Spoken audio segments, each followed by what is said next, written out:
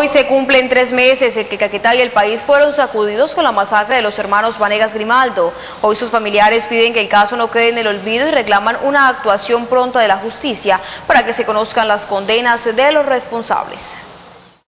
Hoy cuando se cumplen tres meses del asesinato de los hermanos Vanegas Grimaldo, los familiares piden a la justicia una actuación pronta para conocer las condenas contra Christopher Chávez Cuellar alias El Desarmado y cuatro personas más capturadas como presuntos autores materiales e intelectuales del múltiple crimen que conmovió al país.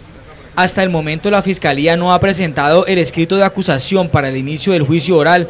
Según se conoció, el ente acusador está dentro de los términos establecidos por la ley para cumplir con este procedimiento. Nosotros queremos justicia y que, y que se condenen. Eh, que paguen lo, máximo de, cárcel, lo que tengan que pagar por lo, por lo que hicieron con mis hermanos.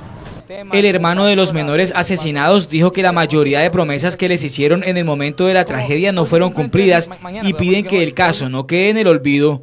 Se olvidaron de nosotros porque igual pues nadie lo volvió no a llamar ni, ni, a, ni a decirle nada, pues todo el mundo se olvidó, se retiró y, y ya pasó lo que pasó y ya no se acuerdan más de uno. O sea, es por el momento lo que pasa y ya, ya no se acuerdan más de uno, lo, dejan en el olvido. Todo el mundo le, le promete y le promete y pues no cumplen. Eusnaldo Vanegas Grimaldo dice que aún no entiende por qué sus hermanos fueron masacrados y asegura que todos los días recuerda los buenos momentos que pasó junto a ellos. Eso es muy difícil, para nosotros ha sido muy duro porque igual eh, todos nosotros estamos enseñados a compartir con ellos, eh, estar en la casa con ellos, pues es muy duro para mi mamá, pues es muy duro, o sea, superar eso es muy duro para ella. Para todos nosotros ha sido muy duro y pues no dejamos de, pensar en, ellos y, y recordarlos todo, a toda hora y a todo momento.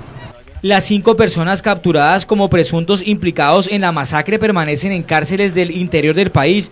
Luego de la fuga y recaptura de alias El Desalmado, las autoridades tomaron esta decisión por razones de seguridad. Esta situación también preocupa a los familiares.